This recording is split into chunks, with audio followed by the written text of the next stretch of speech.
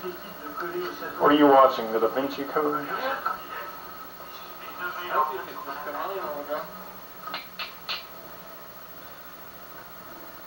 Okay.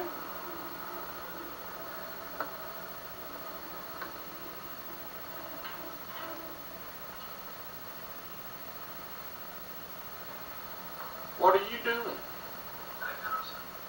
besides filming? Sign you go go? No. What you dressed up? I know you're not gonna go out there and try to, try to uh, film. Don't know why. stuff. no.